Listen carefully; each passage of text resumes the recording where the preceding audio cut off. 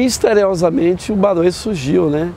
Boa do Catendê, né? Tem a grande ideia de fundar o Badawi depois de uma viagem pela Europa. E vendo o Badawi aí conheço o Negrizu e que vem a música também, Caetano, mais uma vez Caetano, né, nesse contexto do Badawi, que faz uma música muito bonita. Moço lindo do Badawi, beleza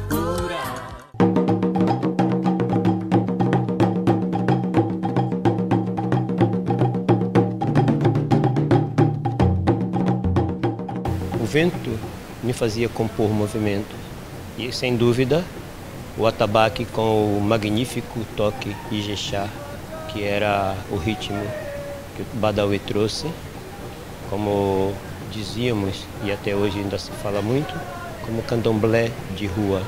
Já havia Filhos de Gandhi, já havia Império de África, já havia outros afoxés com uma, um semblante bem mais é, acentuado, um conceito mais digni, digamos dignificado nas questões é, é, da religião do candomblé.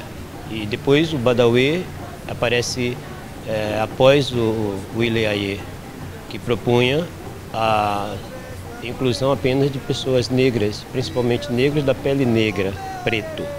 O Badawi é como se fosse uma...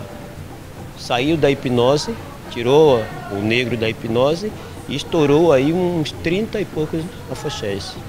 Badawi é o nascimento de um de um artista, do Negrizu. É o que eu sou hoje, sabe?